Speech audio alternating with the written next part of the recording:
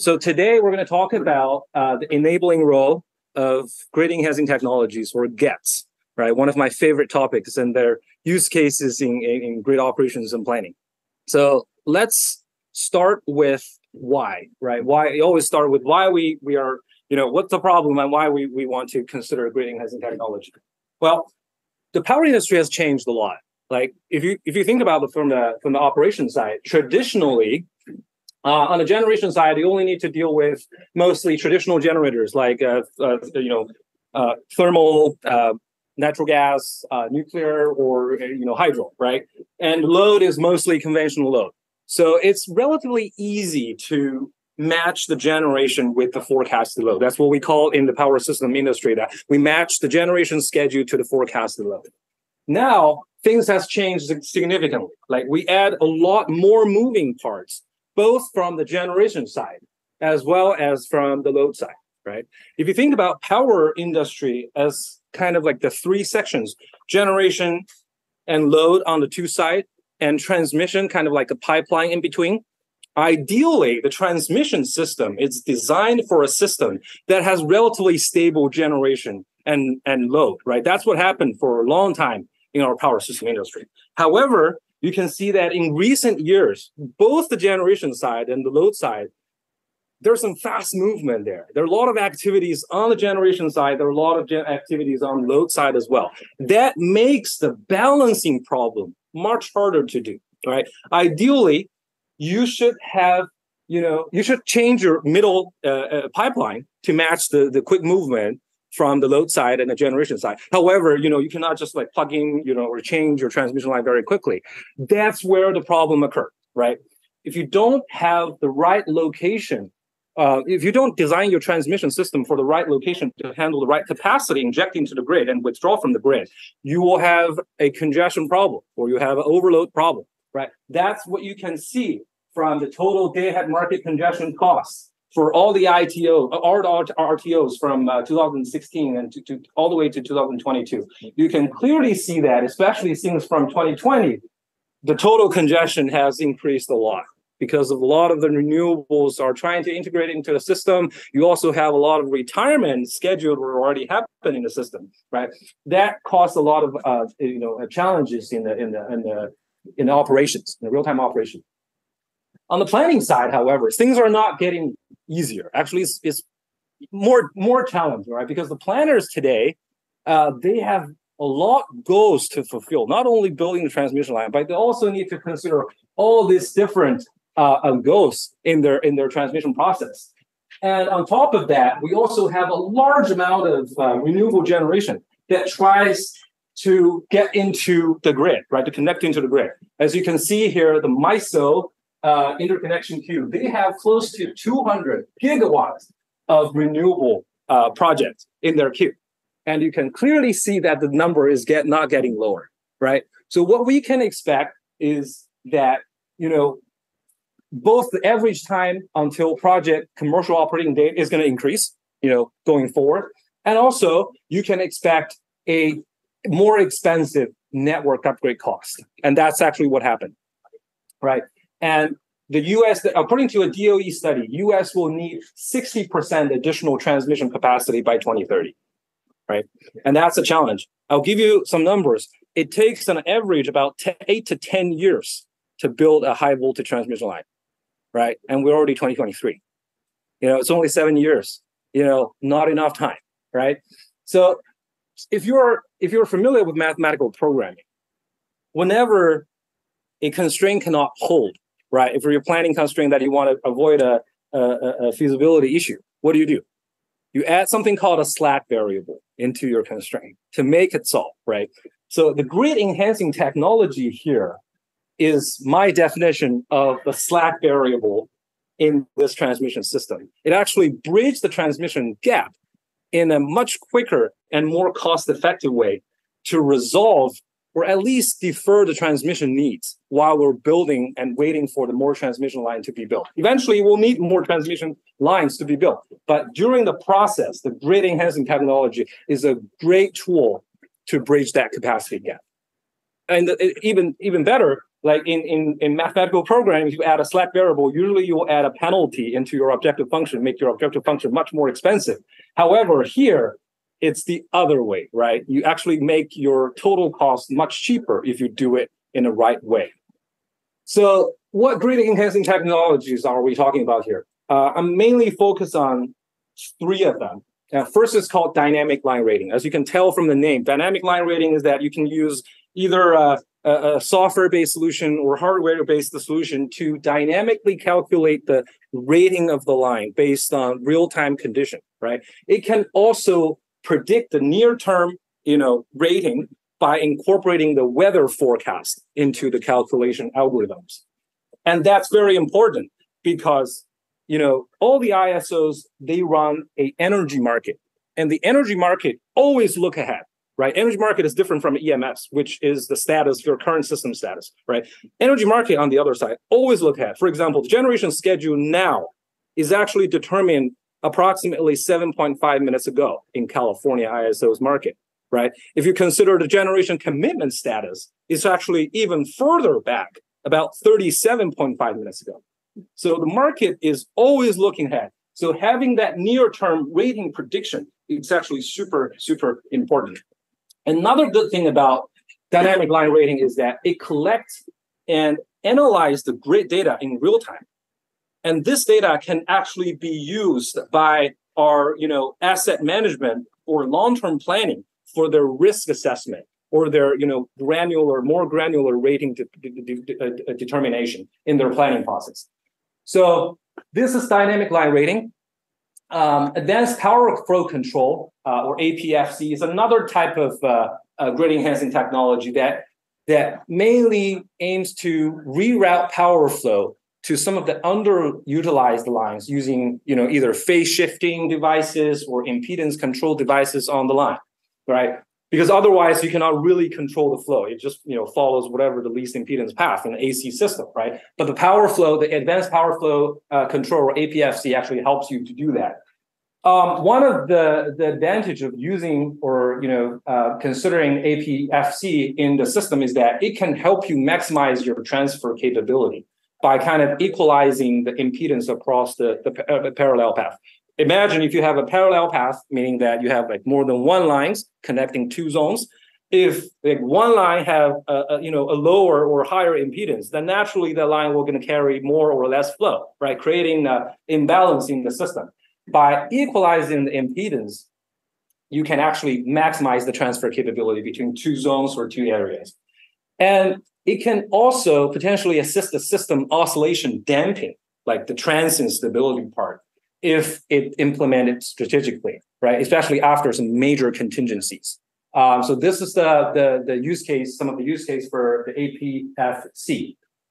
Um, the topology optimization is kind of similar to uh, advanced power flow controlling in the sense that it also reroutes power flow to other lines in the system. However, it uses a, a different technology. Instead of changing the impedance or the, the, the phase angle on the line, it actually changed your topology. Remember what I said that you have the middle pipeline that is very hard to change? The topology optimization is actually trying to help you with that um, you know, one some of the use cases, you know, it can open, you know, or switching or switch out some of the lines based on the real time needs. Or it can also change the bus configuration at your substation to dynamically, you know, changing your your uh, you know topologies to accommodate real time operations. Um, and of, of course, all, all of these three technologies add flexibility to meet operations and planning needs let's talk about some of the common line methodologies if you're not uh, line rating methodologies if you're not already familiar with them so we have a spectrum of the rating methodologies uh, rating methodologies all the way from the most conservative which is, is called the static rating basically we assume that one rating across the year right based on some very conservative ambient condition for example you know during the time, summertime we consider like 120 degree f or a 50 degree C, you know, as the ambient degree. But most of the time, you don't reach 50 degree C, right, during the summer. Hopefully, not in Bay Area, uh, not even in Sacramento area, actually. Um, then you have seasonal rating. Seasonal rating is actually used most commonly in today's ISOs and utility. Typically, we have two seasons, one for summer and one for winter. And for each season, we have the normal and emergency rating. Right? The normal rating is for n minus zero, meaning that the, the overload is there without a contingency. Right? A contingency is something that you know the line goes out or generation goes out without plan. That's what we call contingency in, in, in, the, in the power industry. And we also have emergency rating. Emergency rating is used for evaluating power flow post contingency, right? If you have something unplanned happen in the system, then for a short duration, typically 30 minutes, sometimes four hours, depending on how much the, the emergency rating is good for, we use emergency rating to evaluate that, that post contingency power, right?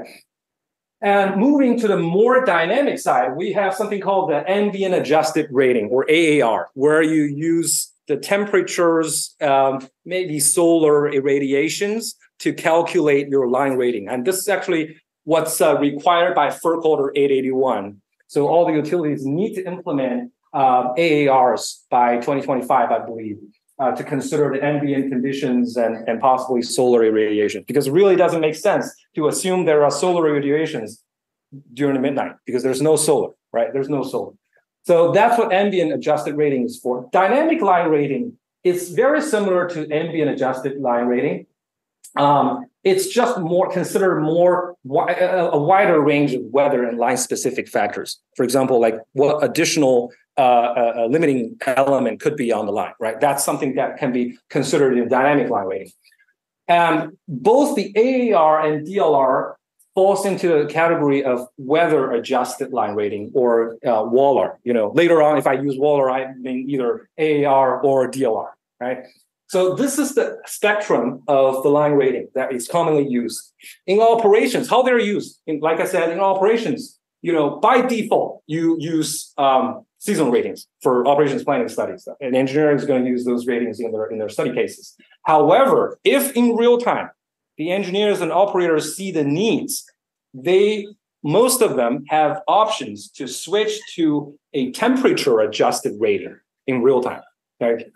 What my experience eh, you know, in the company that I work for is that look at the temperature forecast today. Okay, the temperature forecast is 80 degree or 85 degree, like the peak. Um, however, we know that the line rating in their rating assumptions, they use 50 degrees C. There's never going to be there, or 100, 120 degree uh, Fahrenheit, right? So they will de- develop those temperatures adjust rating, usually at either five degrees, every five degrees, or every 10 degrees. And they provide a rating there for the operator to use when they need it. Uh, in planning, most of the ISO and the utilities today, they still use seasonal rating. Some of them use even use the static rating, uh, that's probably because you know they don't observe a lot of congestion in their system, so they don't feel the needs of of using uh, a seasonal rating or more dynamic rating. But you know, if they see overload congestions more frequently, uh, they should be considering those uh, you know more dynamic rating, and they would. The dynamic rating, uh, the, dynamic line rating can benefit the grid in many ways. I already talked about some of the, the, the, benefits here in my previous slides, but you know, I want to highlight one thing that is, you know, it helps you, that using a dynamic line rating actually helps you identify the limiting factors of your transmission line, because not all the transmission line are limited by the conductors, which the dynamic line rating is able to help, right? However, if you have, if you use a static rating or a seasonal rating that is always lower than your next limiting element, then you're not going to see your next limiting element, right? But once you apply the dynamic line rating, it actually tells you how much the conductor is good for for each section. Now you have the opportunity to see what on the transmission line is really limiting it, right? So that you you know what to invest if you need to make a case. And most of the time, upgrading a breaker or a CT, those can be the limiting element, is much cheaper than building an additional transmission line. So that actually enable you to have more visibility of your transmission asset into your system. And it adds more flexibility right, in, in operations as well. And provide more valuable data for long-term planning use, which I already talked about in my previous slides. So I talk all these good things about dynamic line ratings, right? You know, and um, I want to show you a case study that we recently completed on, uh, you know, WECC 10K bus synthetic case. Um, so this is the network data. Uh, we have a thousand bu- with 10,000 buses, you know, almost 24, 2,500 generators, and we have all these branches and N minus one contingencies. So on a very high level, what we do is we run a DC power flow and a full contingency, full DC contingency analysis for all the 87, 84 hourly cases of the year. That year that we use happened to be a leap year. Otherwise, this should be 87, 60, right? uh, so you can tell that it's, you know, 2016 data is what we use. Uh, so we we provide we, we do the, the the the hourly generation, the renewable generation pattern, and hourly load is part of the case package. However, we select we, we, we well, for, first of all we run the initial DC power flow and contingency analysis right for every hours of the uh, uh in the system uh, uh, every hour of the year, and then we identify 25 most severely loaded line in the case, and we apply the weather information. We got the weather information for those lines, including ambient temperature, wind speed, wind direction, solar radiation, and data time, you know, elevation as well. And then we applied a calculator that we developed based on the IEEE 738 2012, which is the standard for calculating overhead transmission line rating, right? So basically, we use the steady state heat balance equation to calculate the, the weather adjusted rating for those 25, 25 lines. And then we plug in the new rating into the system and rerun the hourly cases with the contingency. And um, we generate some results. Actually, shows uh, some very promising results by applying uh, the, the uh, weather adjusted line rating. And here are some of the results that you can see. This is one of the lines that we pick here. The static rating of the line is the orange line, right? It's, you know, slightly above 300 megawatt. And if you don't apply any cap, I'm going to talk about the cap later on, but if you don't apply any cap, these are the hourly rating that you can get. Some of them are really high. It's more than 200%, right? Um, but in reality, you're likely not going to get like 200% rating increase because you have, like I said, you have other limiting element in the system. So in this study, we applied a rating cap at 30% higher. That's the 1.3 uh, AAR cap that we applied there.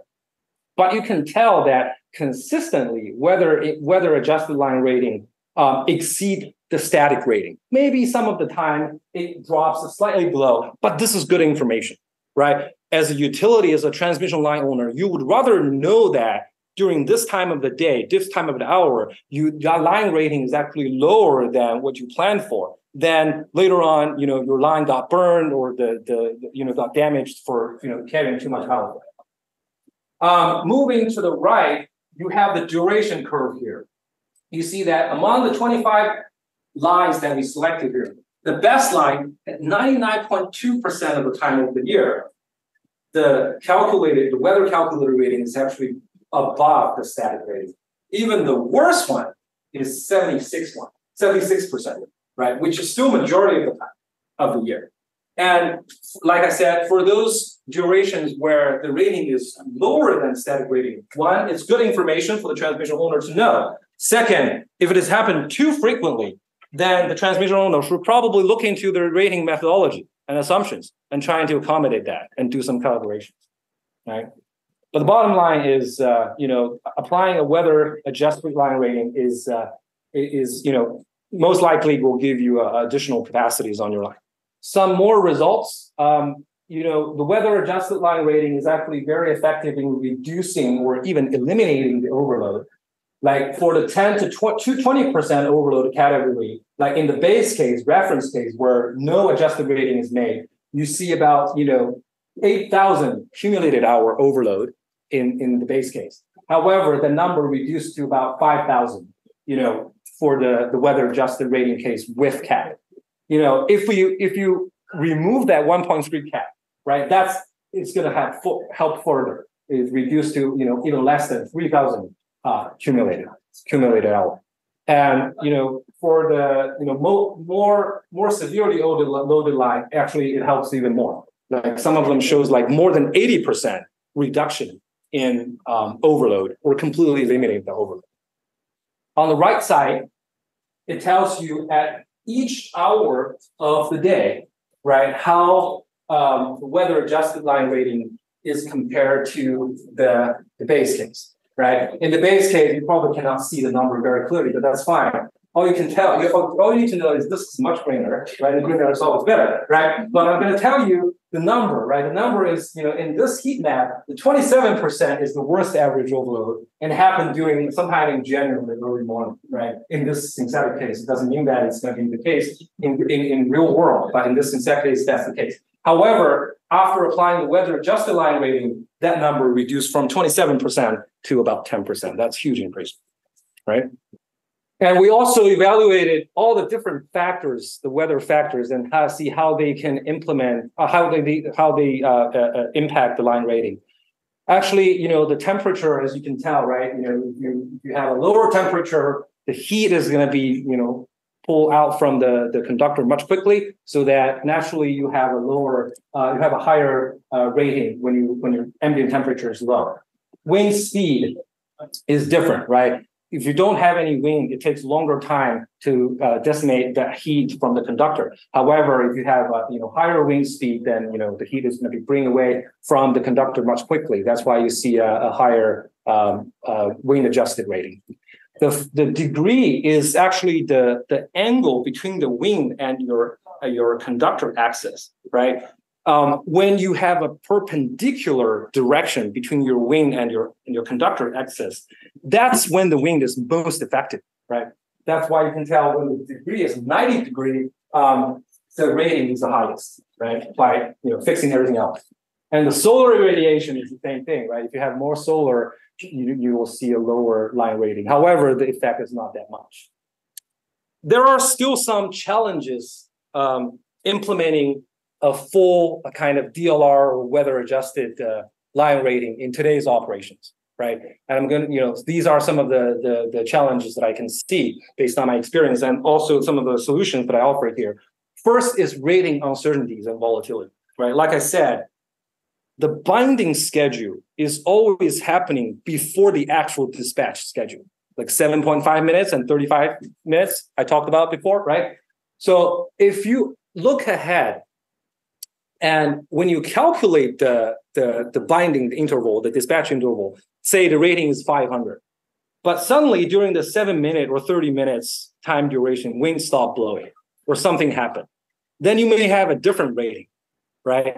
How to incorporate the rating difference into this real-time operation rating calculation market you know scheduling is actually a challenge now right and also the market is running continuously meaning that it keep looking ahead, right? Like, you know, a couple of hours, four and a half hours, or three and a half hours, things like that, and keep calculating ratings. However, the weather forecast can change across different runs and give you a different rating every time you run it, right? So the reading uncertainties and volatilities is one of the challenges. The solution is simple, right? Solution, well, not very simple, but very straightforward. Improve your forecast algorithm, right? That's something that you can work on improve, improve your forecast algorithm, and incorporate a risk-based buffer. You don't have to adjust for every difference, small difference, right? You only adjust if the difference is large enough.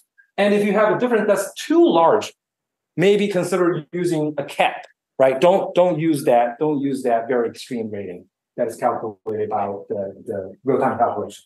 And the data management is another challenging issue, right? You know, in grid operations, we have all different grid applications like SCADA that sends the data back from the field, and you have EMS systems, state estimators, OMS is your outage management system, and market engine, right? All the system kind of connect one way or another together.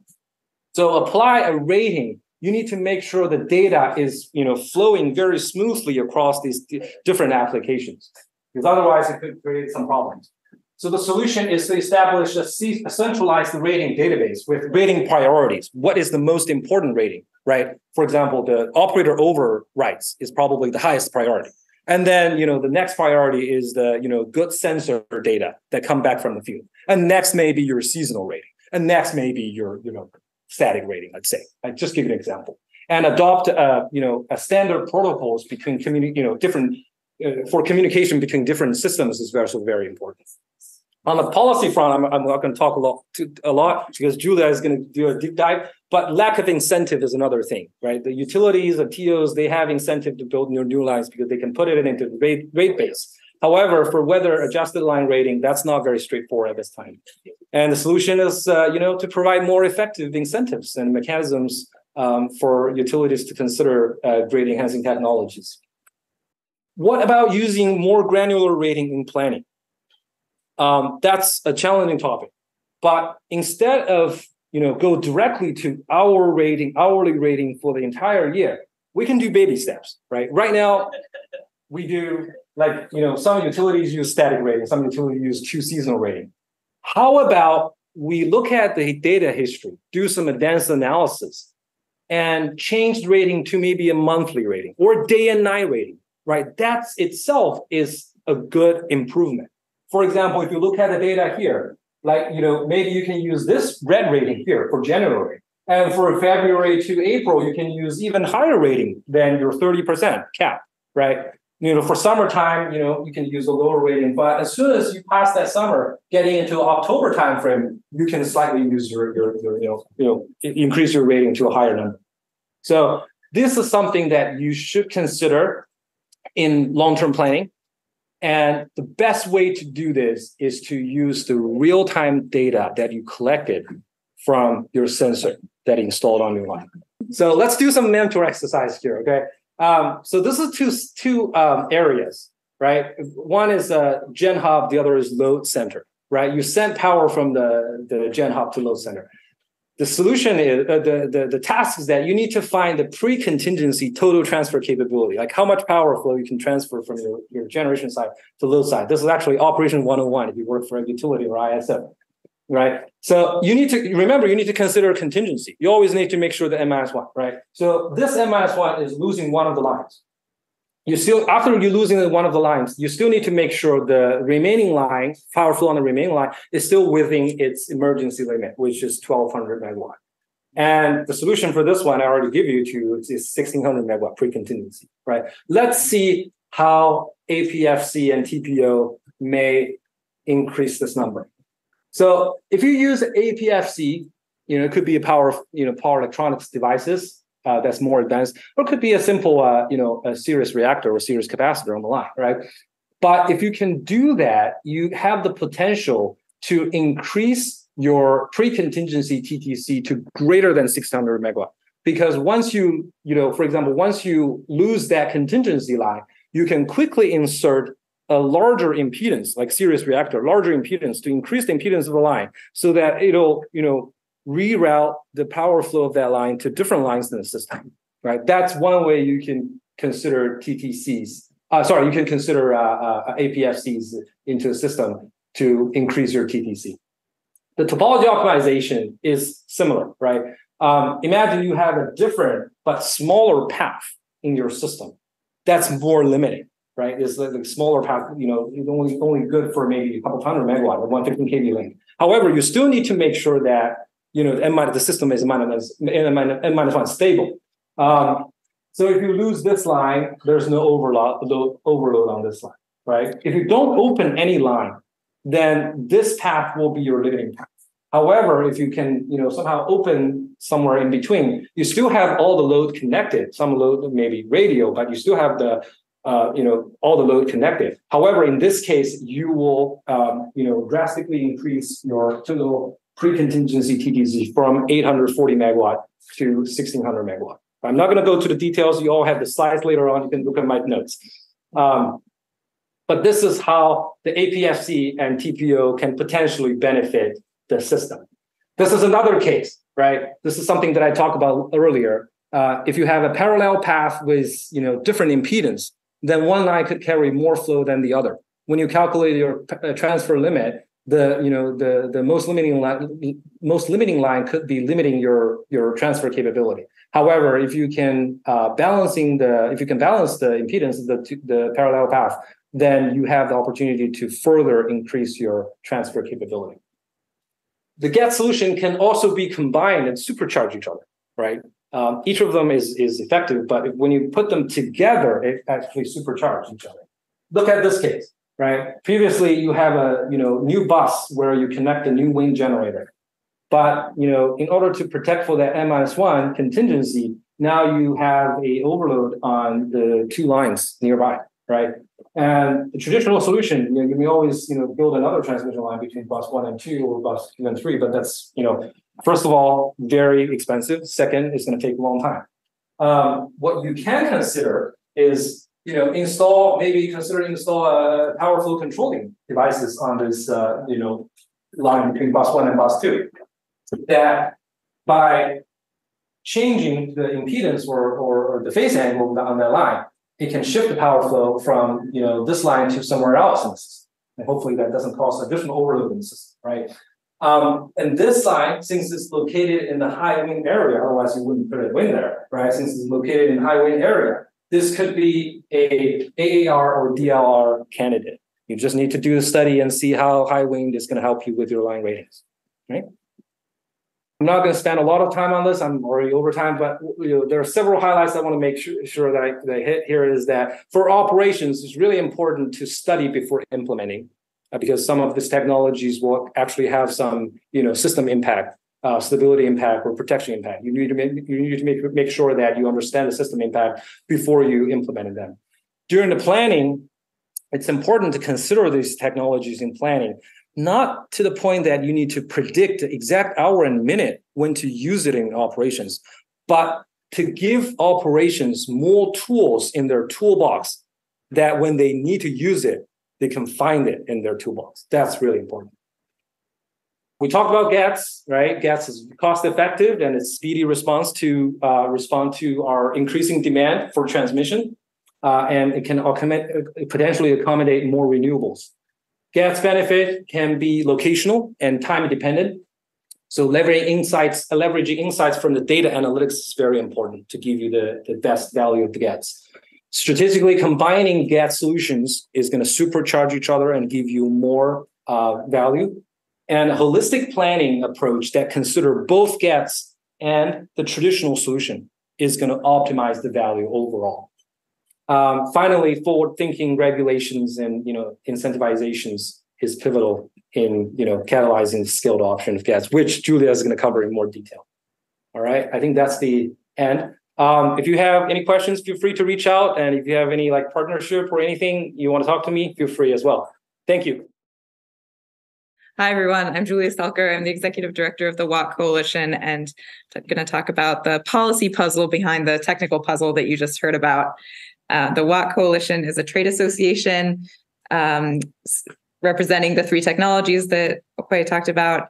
Uh, we're advocating for wide deployment of those technologies, which is not currently happening in the United States for reasons we hinted at, and we'll get into in more depth. Our members are technology companies, renewable energy developers. You probably recognize some names like Invenergy or EDF Renewables. Uh, also, AES, a utility and developer, Vermont Electric Power Company, which owns the transmission system in Vermont, and HASI is a clean energy investment group. So these are all entities that want to see more efficiency, more capacity out of the current grid and the future grid as well. Um, but the question is, why did this group have to come together to advocate for these technologies that uh, in the previous presentation you saw have a lot of value? So here's an example. Uh, the US did start pilots for DLR and discussions for DLR back in the early 2000s, even late 90s. But abroad, Belgium uh, started even earlier and, and had wide deployment of DLR starting in 2012.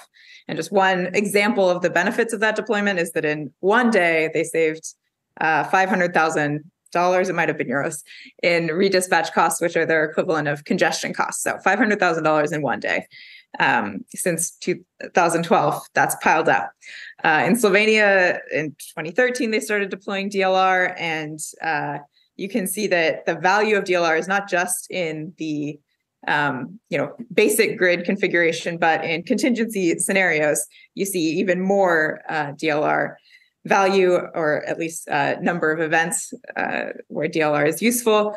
And in advanced power flow control, you see the same thing. The one story of APFC was that um, they were looking at rebuilding a line in a, a contingency situation to address a uh, contingency, and that APFC was a much better value. They put that in instead. It was never used, but it still saved a lot of money because the line would have otherwise had to be built. Uh, Germany, Uruguay, other countries are using DLR widely. In the United States, the first market integrated deployment was in Pennsylvania in 2022 pretty recently. Um, the use case here is incredible. Instead of a $50 million line rebuild, they did a $250,000 dynamic line rating installation, and it saves $23 million a year in grid congestion. So the savings pile up fast. We talk about payback periods of between um, two years or yeah, six months and two years usually for grid enhancing technologies. Obviously, this one pays for itself much faster uh, in Pennsylvania, but this is the first market integrated deployment, and as far as I know, the only one still in the United States. Though other utilities are looking to catch up, maybe AES soon. uh, so this is the problem. We're not seeing adoption of GETS. So why do transmission owning utilities make the choices they make around technology, investment, et cetera? Uh, policy work could focus on anything on this list, right? Federal laws, the energy Federal Energy Regulatory Commission, FERC responds to federal laws um, and issues orders. NERC often responds to FERC orders and issues mandatory standards. The RTOs do transmission planning and uh, set tariffs. State laws uh, impact utility planning. Public utility commissions have oversight over transmission planning. All, all these things are, are in the mix. But as Hui indicated, the the last big piece of the puzzle is money and and where are the utilities expecting to make their returns they're a business and i did put a little asterisk here that this is all applying to investor owned utilities and there are many models in the united states but but uh, financial incentives drive a lot of decisions and and prioritization at utilities as well. So uh, the other angle on that is that all regulation is incentive regulation. You're uh, the utilities are going to be making decisions based on what gives their business longevity and profitability. So even if we're talking about complying with FERC orders, all regulation is incentive regulation uh, to some people. So Alfred Kahn is a bit of a legend in the utility regulation world. All right. So, what is their business model? Generally, we're looking at a cost of service business model. Um, stop me if if any of this is totally unfamiliar, but uh, the utilities make a rate of return, say 10% on their rate base plus their expenses. That's their revenue requirement. So the rate base is basically the, the transmission infrastructure that they own, the value of that infrastructure that they own and build. Uh, so if their rate base is usually based on building $100 million lines, when you talk about why aren't you building a $250,000 DLR deployment on top of that line if you could avoid that big expense? Well, that big expense is your bottom line. So uh, there's there's a really perverse incentive there for the transmission owning utilities. That's not to say that they wouldn't do it if it was trivial to do, truly trivial, but it does take those upgrades that Hui talked about in his presentation. Um, so it's not automatic. It does take work. Um, so why are we stuck at the status quo? Uh, I I think this is a, a illustrative um, example to pull in some other technologies like high performance conductors or interregional transmission lines. So business as usual is that a utility does asset replacement, they do local upgrades within their territory. It's very simple to uh, rate base those upgrades. Uh, and the regulators have been looking at the same proposals for decades and decades. Now, on the grid enhancing technology side, you have lower upfront costs and you might need some innovation in your modeling and your operations. Um, and it has little impact on the utility rate base. So the utilities are essentially incentivized to tell their regulator, you know, there's actually, this is going to be difficult. It's not going to be effective. Uh, we have other limiting elements on the lines. Um, so the utility is not going to bring that to their regulator with a lot of enthusiasm. And on the other side of business as usual, you have higher upfront cost projects, but potentially higher net benefits. So if you're talking about reconductoring a line with a a high performance conductor that doesn't have a steel core, it has a composite core, it's stronger, it doesn't sag, it can handle higher temperatures. That's a higher upfront cost for the ratepayer. And the regulator might think, are you gold plating this project? Do you actually need that um, higher performance conductor?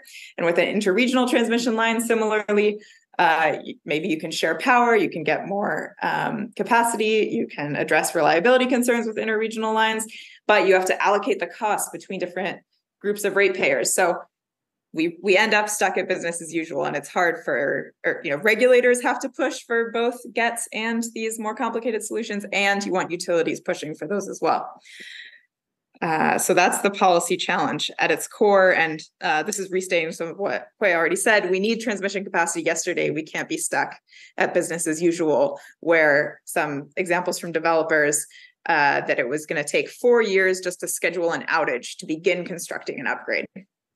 GETS you often don't need an outage or you need a very short outage to make that upgrade. Uh, or maybe another example seven years to complete an upgrade. Um, interconnection costs are routinely uh, $100 million plus for projects or clusters and that's not feasible. That's that's killing projects. Uh, also doing things the traditional way is getting harder because there's supply chains for transformers and high voltage dc components are back ordered there's um, if you if you want to build a line, you better be planning many years in in advance.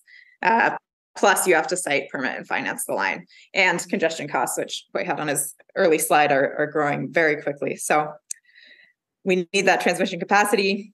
So what what would an incentive for GETS look like? There are a few models in the UK.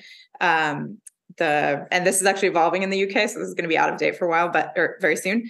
But in the UK, there's a baseline of performance, and incentives are granted based on six different categories, and uh, they include also uh, potentially penalties. There's also an innovation fund to de-risk the deployment of grid enhancing technologies.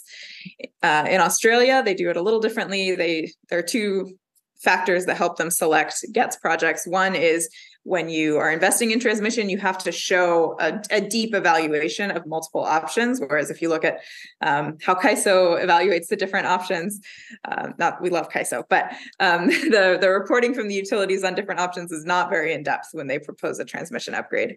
Uh, but in Australia, it is in depth, and that does lead to lower cost or maximum economic benefit projects being selected.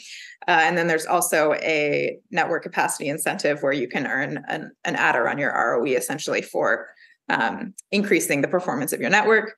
In the US, uh, the WATT Coalition has proposed a shared savings incentive to FERC, which essentially says okay, if you can address $23 million of congestion with a really low cost project, let's reward the utility for identifying that project and developing a solution. And let's also make sure that most of the benefits are still going back to the ratepayers. Uh, so that shared savings incentive has been vetted at FERC through a workshop, a technical conference, but it's not yet a notice of proposed rulemaking. So uh, a ways to go if for that to become uh, law. But on the other side, or not law, uh, policy, uh, there are requirements, and these have moved forward at FERC. So uh, if we think of all regulation as incentive regulation, this is still in a sense an incentive, but um, FERC order number 2023, which uh, made new rules about generator interconnection, required transmission owners and RTOs to consider grid enhancing technologies in their interconnection processes. There's a notice of proposed rulemaking for transmission planning that does a similar uh, integration for GETS into those processes. Order 881 required utilities to use ambient adjusted ratings on all of their lines and required the RTOs to prepare to accept dynamic line ratings at 15 minute intervals. Uh, so that means if a utility wants to use DLR after July 2025 and they're in an RTO, they should be able to, which uh, another technical uh, leap there for the United States. Uh, then there could be a requirement to deploy GETS under certain conditions. So say you have you know a huge amount of congestion cost on a line and it's it's historic and it's projected uh, there there could be a threshold that says, okay, if you see two million dollars of congestion on this line going forward, you should deploy DLR and reduce that congestion somewhat. Uh, or if you're not in an RTO and trans, uh, congestion costs are not transparently reported, uh, then it could be based on the hours the line is constrained or something like that. There are also federal grants and subsidies that utilities, especially nonprofit utilities, can use to lower the upfront costs of deploying these tools. Okay, that's an overview of the, the policy landscape, but uh, we have seven minutes for questions, and the, there are a bunch of slides in the appendix for a little more information about the technologies and um, the reasons we need them. Okay, thank you. Uh, first of all, thanks super interesting. I had a question for you, sure, about kind of DLRs, or I guess, well, first DLRs, but kind of like, could you maybe provide a sense of like a spatial granularity of like maybe the DLR kind of difference going on? Like, yeah, I assume you have some monitor, some sensor or something, you know, is it for every line? There, you know, just, just put one in like a mile or 10 mile radius or how does that work? It, it depends on the line. That's the short answer. Okay. If the line changes structure many times, then you need more uh, sensors online the just to capture that wind speed and directions. But if you have a relatively short line that doesn't change, like the you know the the turn of the line doesn't change that much, then potentially you don't need a lot of the sensors on. And there are different methodologies for DLR. So you could have a sensor on the line, you could have a sensor looking at the line from the transmission tower. There's a company that uses fiber optic cables strung along the line. So that then you have very granular measurements of the local temperature. Uh, I wonder for the DLR investment, it's although it's low cost, but it's still need investment. And that investment could be included in the re- rebate case, or it's belong to like a maintenance cost for Hmm. utilities. Yeah, that that's a challenge because I, I think in the UK they've changed from yeah, the ROE is both on capital expenditures and operations expenditures. And so that decouples the utilities revenue from just building new things. Uh, and in the United States, I think often software is considered an operational expenditure, which is a problem uh, for all kinds of uh, situations. But the um, one thing about the federal grant programs is that they can they can apply to the staff time that it takes for training. Uh, so that's that's a way that they can uh, subsidize the operational expenditures. But yeah, that, that first DLR deployment is more expensive because you have to upgrade your systems and train your staff. I think That's probably the concern from a human perspective, that they already out of their budget for operation and maintenance. And if that could have belonged to the capital cost, and that will be much easier for utility to take it Mhm. or initialize. Uh, so that may be a one thing the United States could think about change some of that Mhm. do and uh, enable or give incentive for utilities to do this work. Uh, if they can get two percent return and capital investment. That makes sense. Yeah. Yeah. How was Pennsylvania able to implement the GETS and like were, were there incentives that they use that they use in other US cases? Or? No, I'd say the um, it's a little bit of a black box, but basically, when a utility has deployed GETS in the United States, it's because there's um, one ambitious engineer, maybe a couple ambitious engineers. Hopefully, their boss is also ambitious, but um, uh, basically, it's individuals saying, "We have this technology. Let's use it. Let's solve this problem." Um, and I think PPL had to work with PJM also to make sure that you know they could actually use the data to to change their uh, dispatch. But it, yeah, there was they they were absolutely not incentivized to choose that solution, but they did anyways. I think there's different vendors have different approaches for communicating DLR data, uh, and I think most of them are redundant somehow. So you know you'd, you'd have your default LTE system, and then maybe you'd also have a satellite system for backup. But uh, that's vendor by vendor. And, and eventually they have to comply with the CIP, the CIP standards and the, the COM standard that's uh, you know required by NERC. Mhm. Yeah. Yeah, I think it's up to the utility customer too to tell Yeah. the vendors what they need or want. Right back. We're talking about the um planning side of it and uh are you planning on setting down a line? Uh is would it also apply to the protection settings and we can be like dynamic between the protection settings based on the ambient too, or would those be just set at a setting? That's a very good question. It could, right? If, if, if you anticipate the rating change a lot, let's say 30, 50%, then yes, you're, you need to change, you need to consider changing your protection setup. Right? If your previous protection setup, like, you know, based on a hundred megawatt rating, now you constantly see 150, 200 megawatt rating, right? Then yes, you're right. You need to, you need to consider that. Last question. And then what about for transformers? Does it are they similarly affected by sort of higher wind speed or are you driving them a lot harder if you implement DLR? I don't think transformer is uh, um, is heavily impacted by wind speed. However, I've also seen um, vendors talking about like dynamic transfer transformer rating, uh, they might have different set of uh, you know measures other than the you know wing direction or wing speed. Same answer. I've heard of it, but I don't know how it works. Because you know it's it's very short, stay in a substation, not like a long right long line. Thanks, everyone.